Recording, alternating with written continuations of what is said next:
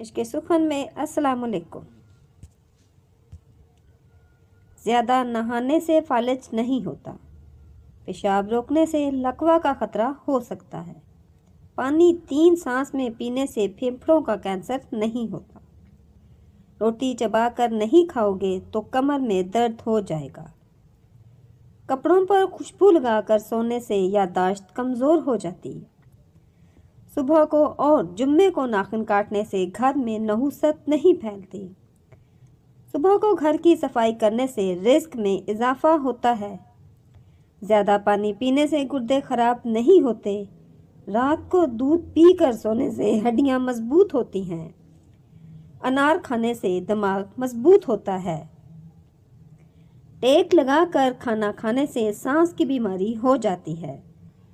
चलते फिरते खाना खाने से जोड़ों का दर्द हो जाता है। बैठकर टांगें हिलाने से दिमाग कमज़ोर हो जाता है। थूक फेंकने से दिमाग कमज़ोर हो जाता है। ठंडा पानी पीने से दांत जल्दी गिर जाते हैं। नीम गर्म पानी पीने से कभी हार्ट अटैक नहीं होगा। गुलाब का फूल सूंघने से सुकून की नींद आती है। कम मिर्च मिसाले खाने से कभी मैदा खराब नहीं होगा। दूध के साथ हल्दी पीने से कभी कैंसर नहीं होगा। हमल के दौरान चौदहवीं का चाँद देखने से बच्चा खूबसूरत पैदा होता है। शाम को मूंगफली खाने से खांसी हो जाती है। शाम को कभी भी आलू मत खाओ, बवासीर हो जाएगी। रात के वक्त चेहरा धोने से अच्छे ख्वाब आते हैं। मीठी चीज़ें ज़्यादा खाने से चेहरे पर झुरियाँ आ जाती हैं। माल्टे का छिलका चबाने से हाजमा ठीक रहता है। जो लोग रात के वक्त चाय पीते हैं, उनका दिमाग कमज़ोर होता है। कच्चा लहसुन खाने से दिल मज़बूत होता है। गीले कपड़े पहनने से खारिश की बीमारी हो सकती है। हरी मिर्च खाने से जिस्म की चर्बी पिघलती है। किपला की तरफ़ पाँव करके सोने से बुढ़ापा जल्द आता है। खाना खाने के बाद सौंफ खाने से खाना जल्दी हजम हो जाता है। जब भी आपको कोई परेशानी हो तो अदरक वाली चाय पी लिया करो। आप आराम महसूस करोगे। सुबह निहार मुँह कोई भी खुशबू वाली चीज़ सूंघ लिया करो। जवानी देर तक कायम रहेगी। टॉयलेट में थूकने से चेहरे पर झुरियाँ निकल आती हैं। फालज और लकवा में मीठा ना खाएँ। नज़र की कमज़ोरी में बनास्पति घी ना खाएँ। हाई ब्लड प्रेशर में नमक ज़्यादा इस्तेमाल ना करें। अपने दांतों को बेहतर रखना है तो हर खाने के बाद कुली करें। अगर आप चाहते हैं कि कोई इंसान पूरा दिन आपके बारे में सोचे तो रात सोने से पहले उससे बात करें। इंसान की खुशी सिर्फ़ नौ दिन तक रहती है, चाहे जितनी ही बड़ी क्यों ना हो। नाराज़ लोगों के दिमाग ज़्यादा मुनफरद ख्याल पैदा करते हैं।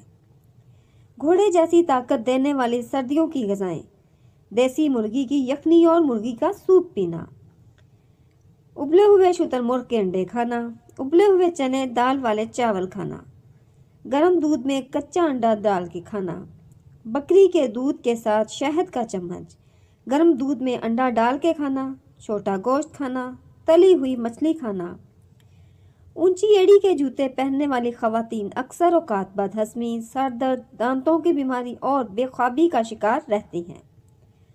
घुटनों के बल ज़्यादातर बैठे रहने या काम करने से घुटने नकारा हो जाते हैं। नीम गर्म दूध के बाद पानी पीने से खांसी लग जाती है।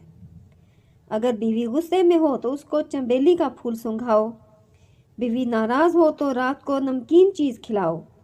बाज़ मर्द और ख़वातीन की आँखों से पानी बहता रहता है और वो मुख्तलिफ़ किस्म के टोटके इस्तेमाल करते हैं, लेकिन फ़ायदा नहीं होता। इसके लिए 21 बादाम की गिरियाँ रोज़ाना रात को पानी में भगो दें और छील कर नहार मुँह चबा लें। क्या आप जानते हैं दुबई के शहर को सोने की कान भी कहा जाता है? क्योंकि दुबई में 10 से ज़्यादा ऐसी दुकानें हैं जहाँ पर सोना 10 टन से भी ज़्यादा पड़ा रहता है।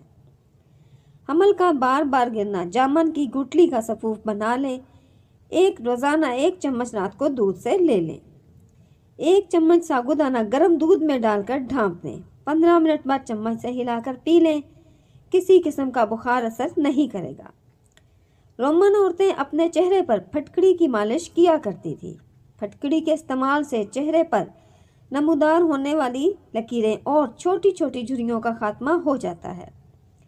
हाथ से दूध गिर जाए तो मुश्किलें आती हैं। आसमानी बिजली की कड़क जलजले का झटका और बुढ़ापे की बेबसी। सिर्फ़ ये तीन बातें किसी भी बंदे को ईमान लाने पर मजबूर करने के लिए काफ़ी हैं। प्याज की खुशबू सूंघने से दिल की बीमारियाँ कम होती हैं। चलने से कबर खजूर खा लिया करो, बीमार नहीं होगे। किन हालतों में नमाज़ तोड़ना जायज़ है? कोई डूब रहा हो तो उसको बचाने के लिए नमाज़ तोड़ देना जायज़ है। किसी का आग में जल जाने का अंदेशा हो तो नमाज़ तोड़ देना जायज़ है। किसी अंधे का कुएँ में गिर जाने का अंदेशा हो तो नमाज़ तोड़ देना जायज़ है। इन तमाम सूरतों में नमाजी पर वाजिब है कि नमाज़ तोड़ दे। नमाज़ पढ़ रहे हो, रेलगाड़ी छूट गई और सामान रेलगाड़ी में है। गाड़ी छूट जाने से नुकसान हो जाएगा तो नमाज़ तोड़कर रेलगाड़ी पर सवार हो जाना जायज़ है।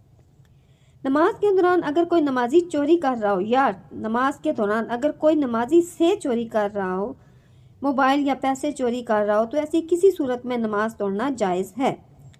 नफल नमाज़ में हो और माँ बाप पुकारें तो उनको आपकी नमाज़ के बारे में इल्म ना हो तो नमाज़ तोड़ दी जाए और जवाब दें, बाद में इस नमाज़ की कज़ा पढ़ी जाए।